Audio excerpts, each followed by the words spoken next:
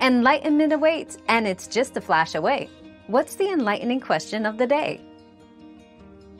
Dreading going to work each day can stem from various factors, such as feeling unappreciated, lack of engagement with your role, or a toxic work environment. Addressing this requires identifying the root cause. If it's the work itself, consider talking to your manager about realigning your responsibilities or exploring new opportunities within the organization. When it's the environment, seeking support from HR or trusted colleague might provide perspective and solutions.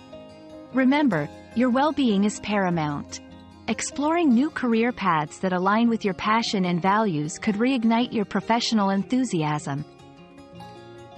Your daily dose of discovery ends here, but the journey of learning never stops. Subscribe and join us again for more answers tomorrow.